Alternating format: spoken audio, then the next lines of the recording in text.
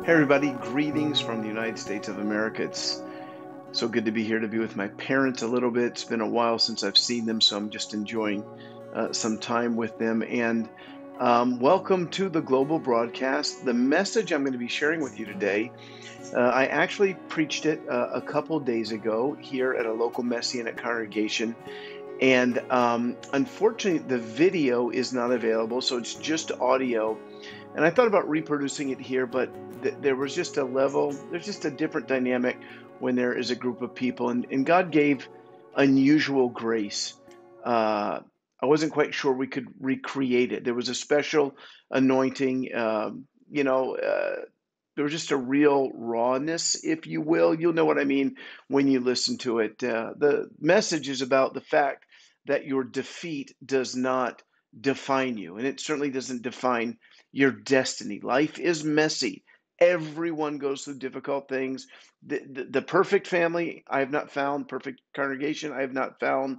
And there are uh, real tragedies and difficulties that we pass through in this uh, journey as we look forward to that eternal kingdom that we're going to be a part of forever and ever and ever. So I hope this blesses you. I want to encourage you to go ahead and like this broadcast and to share it with your friends. Uh, but most importantly, I want you to be encouraged and be strengthened in Yeshua's name. God bless you, and I will see you guys again very, very soon. Bye bye. So I got about 20 minutes here, and I want to encourage you. So let's pray. Father, in the name of Yeshua, we just ask for grace, for revelation for identity. Help us to understand who we are in you, O God.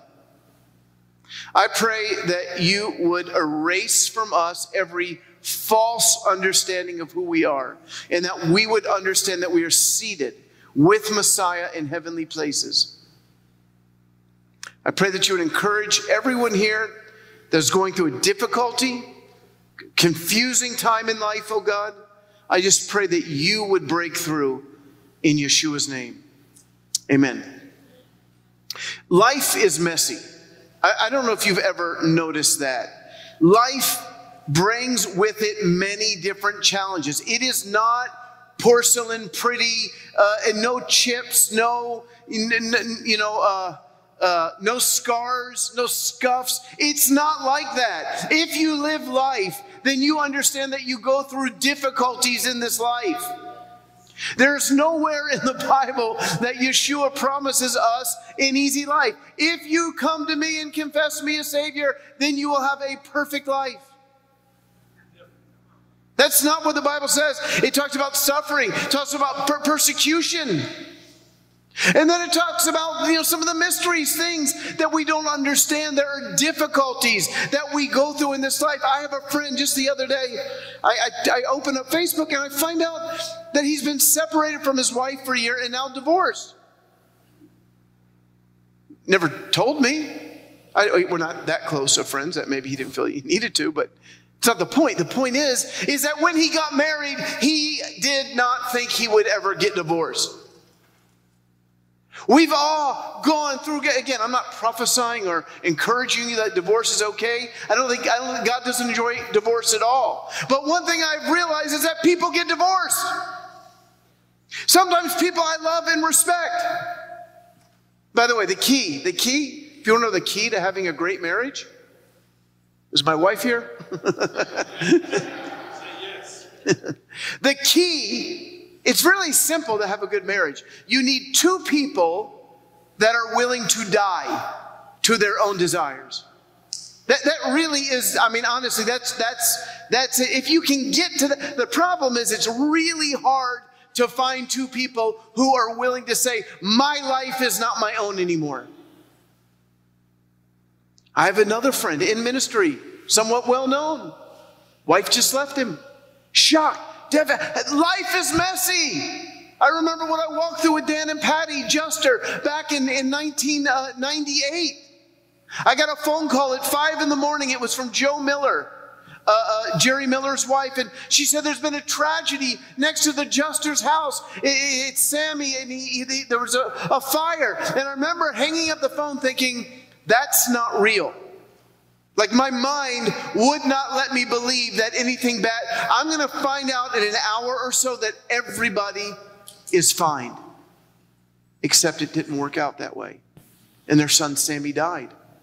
Why? Who knows? Should we, should we pick people's lives apart to find? The, the point is, is that life is messy.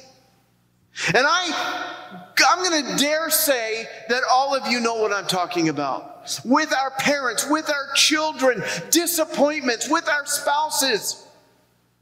But here's the beauty of it your defeats do not define you. We are defined by the fact that we're children of God. Just a few other examples. John Wesley. John Wesley is one of my heroes, great revivalist, uh, uh, one of the main leaders, the main leader of the, of the first great awakening. Used to preach in England before tens of thousands of coal miners. They would be weeping and crying at his hardened, hardened, tough guys, you know, weeping and crying as the Spirit of God would touch their heart. He was amazing, but you know what? He got married. He got married to a woman named Molly. And Molly was very difficult. She would confront him while he was preaching. She wrote articles against him. She, at one point, pulled him by his hair as he's leaving the house to go preach and, and had a clump of hair. I mean, she was, but this John Wesley. I mean, the, one of the greatest theologians in 2,000 years of the ecclesia. John Wesley going through that great tragedy in his life, being married to someone who did not just not love him, but was suspicious of him and attacked him. Yeah, but not in the Bible. You know, that's John Wesley. He's he, you know, that's but look at the great heroes of the Bible. Yeah, yeah, they never had problems. How about King David?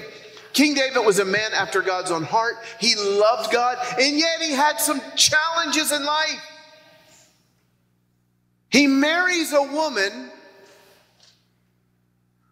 who's given to him in marriage because of defeating Goliath and then killing a bunch of Philistines, who is the daughter of a nut job king, demon possessed. Michal, that was her name. Can you imagine how she felt, by the way? Yeah, we're going to give you to this guy because he, he, he got the foreskins of a bunch of Philistines. Okay, now you're married to him. But then she, she loves him. She's in love with David, but, but she's got this wicked father, and he, she, now I got to choose. Do I, do I help my dad defeat David, or do I? And so she helps David escape, but then she's given in marriage to somebody else. But then David goes and gets her back later. See, Michal, forget David for a minute. Let's just talk about Michal. She had a hard life. And we judge that poor woman. We do. We read the story about David coming in to Jerusalem. He's dancing, he's worshiping, he's twirling. He wasn't naked, by the way. That is not correct, because that would be really weird. And she stands at her window and she judges him. Do you realize what that woman has been through in life? Now she's looking at all the young girls worshiping, loving David. And what does he do? See, I think David made a mistake. He comes upstairs into the kingdom. I don't know if there's stairs or elevator or escalator, but he gets up there somehow, rope, climbs up there, and he's there with his wife, and she says something snarky to him. And he says something snarky back. I'm willing to act like a fool because I love you. You ever met zealous people like that? Rabbi, right? You know, sometimes us, when I was a new believer, I was a little bit like that. It's great to have zeal. It's better to have zeal and wisdom. And I think David was a little bit lacking wisdom in that moment, and, and, and, his zeal level was great. His wisdom level wasn't. And what does he say to her? He says, You know, I'm willing to act like a fool because I love God, and all you, you meet people like that. But what if he did that and she was barren? He cursed her. She was barren the rest of her life. What if he had said, what if he had walked over to that woman? Because life is messy, people. Marriage is messy. There's, there was a time in my life with my lovely, beautiful wife, Ilana, where I thought we would never make it.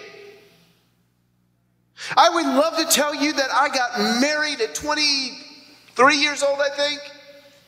And I was just the best husband, and she was the best wife. And we've got a perfect family, and we've never gone through anything difficult. And there are a lot of preachers out there would love you to think that about them. But what value is there to me to lie to you? Can God not see through my lies? The fact of the matter is, is that I didn't think we we're going to make it. I was arrogant. I did not know how to love another person. And I married a strong willed new believer Israeli. You can't even imagine. I was teaching her about how wives submit to their husbands. She's like, yeah, right. That's it. But where, where's that in the Bible? but we had a hard time. And I remember one day just thinking, and, and I come from the background, I come from the, the, the, the mentality is that if you if if you if if your marriage falls apart, you're done in ministry. I was just beginning in ministry.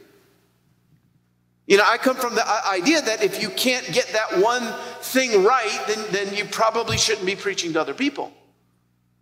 And I remember thinking, I'm, I'm done. And I remember saying to God, if it, life messy. It wasn't where I thought it was going to be three years before that when I married her. I'll get back to David. I have not forgotten him or Michal. When I said I do and she said I do, I never dreamed 30 years later we'd be on the verge, uh, verge of maybe getting a divorce. Now, we weren't really, but we were mad at each other. We went through a month, I, don't, I think it was about a month we didn't talk to each other. Our kids were too young to know that we weren't talking to each other. I did a wedding. I did a wedding. I officiated a wedding, and my wife was not talking to me. Hey, I'm just, I'm being real. Thank you for that one person who appreciates that. but it's messy, it's hard. I remember I, I have this ring that's kind of hard to get off, um, which is good. And it says, Ahavalo tibole olam, which, as you all know, is 1 Corinthians 13 8. Love never fails. I always wanted that to be a reminder to me if I walk in love, it's going to work out. If I do what love would do, things are going to be good between me and my wife. Well, I remember we were married about two years, something like that, and and, and I take I don't take it off anymore, mostly because I got fatter. I was 132 pounds when I got married. Can you believe that? I don't even know how this thing stayed on my finger, but I took it off and I couldn't find it. I could not find it, and months go by. And the Lord spoke to me and he said, You will find your ring when you learn to love your wife. We go to this retreat thing. It wasn't a, a, it was a retreat center, but we were just there. The two of us made a great time. It was wonderful. I think we were married two years at this time, three years. And uh, the Lord speaks to me on the way home. He says, Okay, good. You, you, you, you're not that you've passed 100%, but you're, you're now moving in that right direction. You'll find your ring. I get home, it was under my bed for six months. I mean, like a foot, like in plain view. That day that God said you'll find. So life is messed. So here's David, and he's, oh, I'll dance in front of everybody, and they may love me, and you may not, and I don't care because I love God. Sounds good, right? Sounds good. I've met so many people like that. They know the right zealous thing to say, but their life is a mess.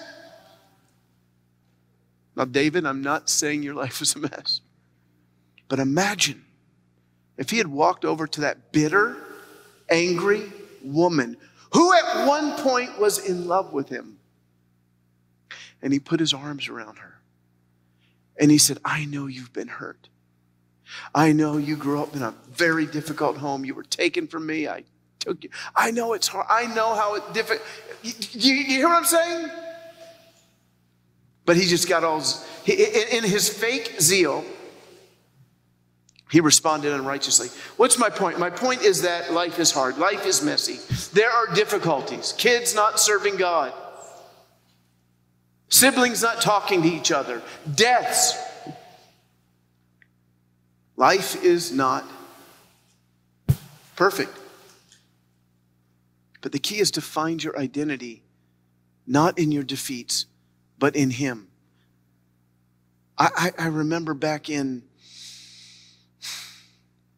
I guess it was uh, 2000. I don't remember. I was remember I was a pastor at King of Kings in, in Jerusalem, and there were just just nothing was going right in my life. Outwardly, yes. Outwardly, people, oh, look at you. You moved to, to Israel. Now you're in Jerusalem. Now you're you're pastoring. You know, it's an English speaking congregation, but but one of the largest congregations in the country. Inwardly, I was miserable. Difficulties, my kids adjusted to Israeli life. I felt like an absolute failure. And part of my problem is that I was look, I was defining myself by what was happening in my life, not by what is written about me. I am who you say I am. I am a child of God. By the way, I was writing down that I was thinking about that theme when you guys played that song. I am who you say I am. And, and, and, so what I did is I was miserable. I was at, in, in, in my parents' house. I was in Richmond at the time, and I was in, the, in my dad's study, and I was just crying out to God. I, I was so broken after six months of listening to the enemy telling me, You are a failure. You've got these people f- fooled.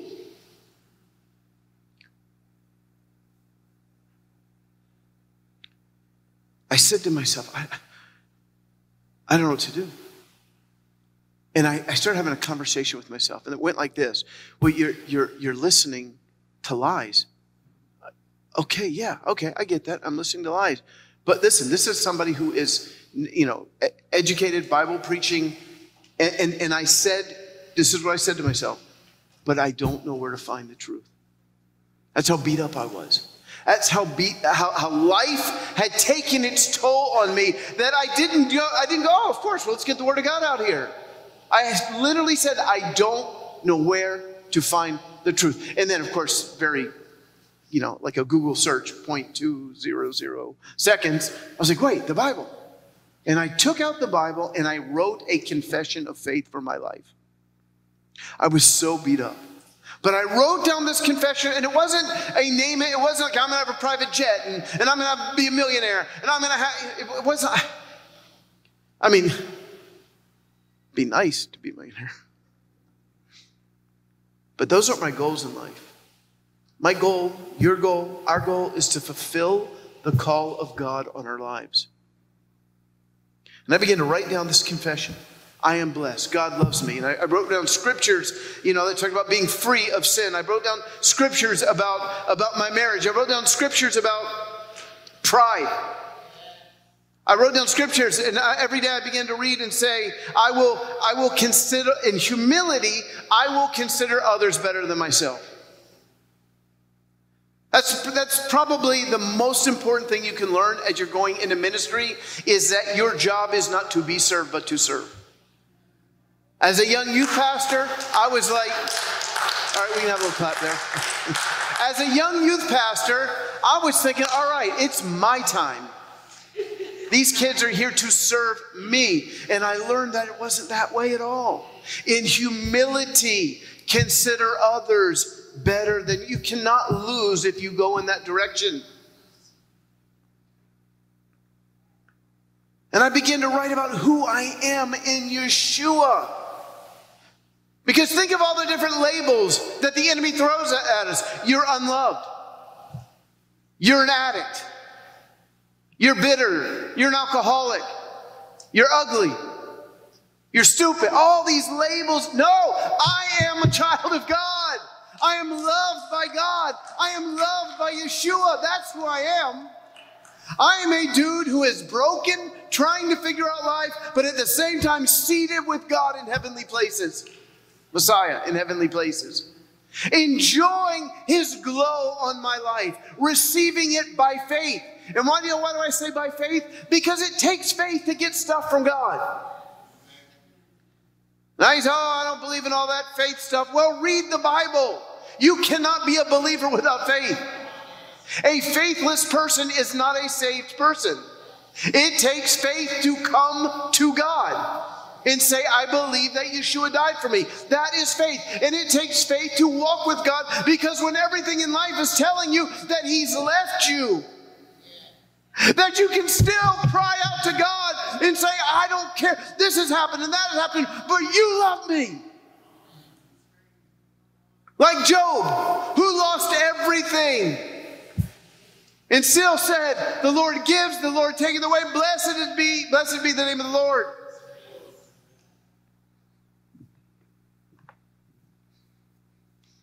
I have a friend who he was in his early 40s, he was he was a specimen. he was tall, he was fit. He used to run marathons almost weekly. He would very wealthy, would go to other other places around the country and run marathons, take his family, everything perfect. And then, I don't know, 10 years ago, so he, he, he was diagnosed with some sort of condition and he could no longer exercise. And when you, you can't exercise, you tend to put on weight and, and doesn't look like he used to look. Doesn't look anymore like the specimen. And I was praying, I was in Colorado in a car one day. Um, it's a whole nother story why I was there, but I'm driving from one place to the next, and it, it was I was had an unusual experience with the Lord. And he starts speaking to me about different friends of mine. And then he spoke to me about this guy. And he says, You tell him that one of the reasons he had to go through this is because his identity was in this is who I am. But God was saying, I'm bringing you down, I'm breaking you until you understand that your identity is child of God. And now he's in ministry. And he's, he, he's, again, he doesn't look like he used to, but he's at peace with who he is and he's loving people and ministering to people. We have to find our identity in God. It's not in being a professional, it's not in being smart, it's not in degrees, as in academic degrees, it's not in your talents. We like to say things like, well, you know, when we get to heaven, or when heaven comes to earth, which is more my theology.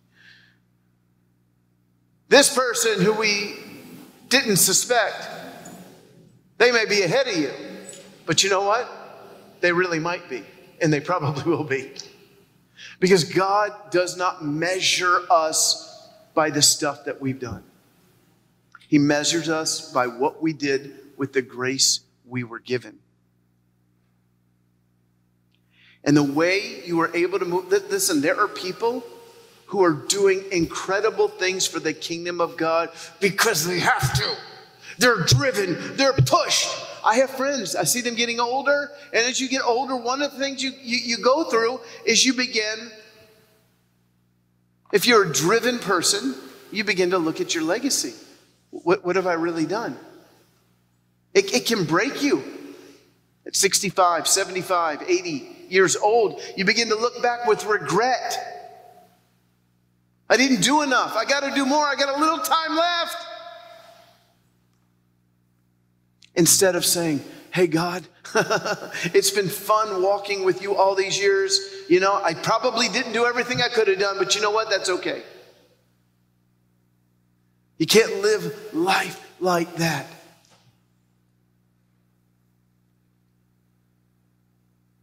Just the other day, um, I guess about a week ago, uh, Bill Johnson, who is the uh, pastor of Bethel uh, out in Redding. And, and listen, there's a lot of different people with a lot of different uh, uh, opinions about him. To be quite honest with you, I don't think I've ever heard a sermon he's preached or read a book that he's written. This is not about endorsing or not endorsing his teaching. It's about the fact that his wife died of cancer. And, and this is what he wrote or, or shared about three days afterwards with his congregation.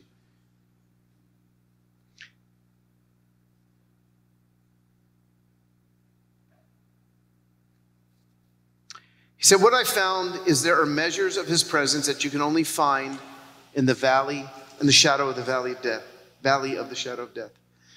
He's not a vending machine. I don't get to put a quarter in and get out what I want. It's a relational journey. I've experienced His kindness, His miracles at levels I never earned or deserved. I just don't have the right to reevaluate what He is like because I have experienced loss. In other words, we don't get to redefine God because we got in a car accident or because we suffered a miscarriage or a divorce. Maybe you didn't want the divorce. Maybe you fought, you fought, you wanted, but it still happened. And then God, we don't get to reevaluate God. God's goodness, and I'm closing right here in a minute. God's goodness has been demonstrated to us for all time in the death of his son. Once he allowed Yeshua to take our sin upon him, there, there is no other act that he can do to prove his goodness to us. And now we live life in this broken world trying to bring this message to other people to take them along with us. But we're in a war, we're in a battleground, and it's hard. And yet there's victory. Let me keep reading. May I never be found criti- critiquing God when things don't go my way.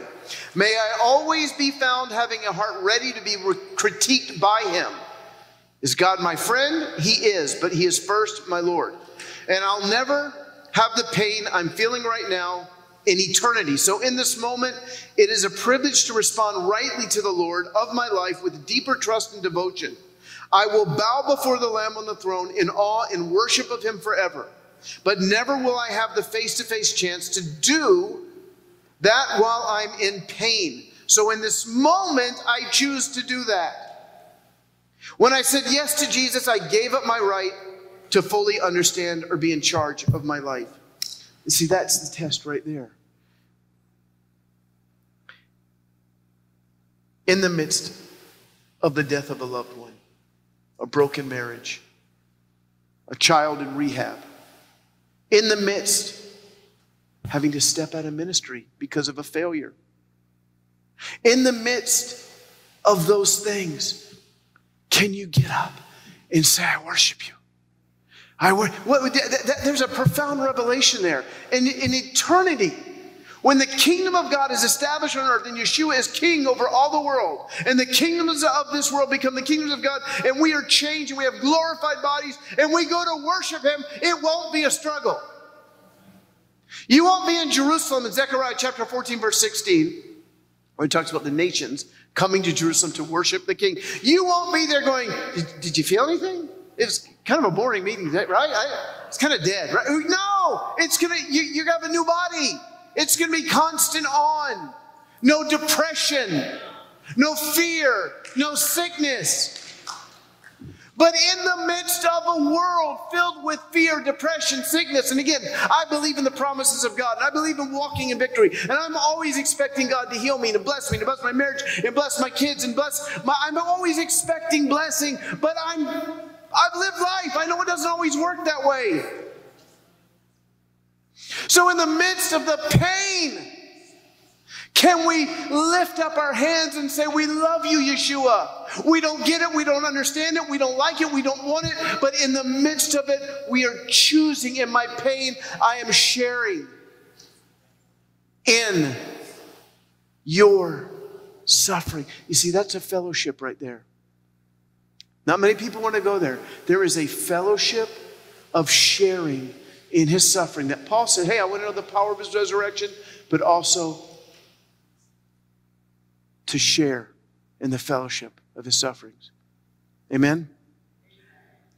Now, I imagine that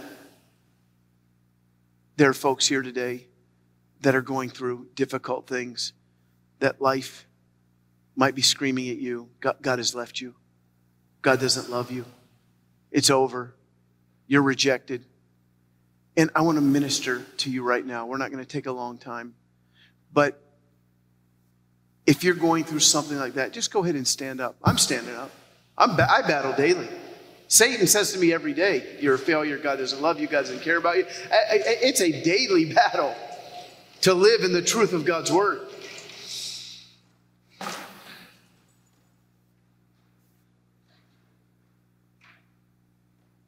Lord, in the midst of difficulties,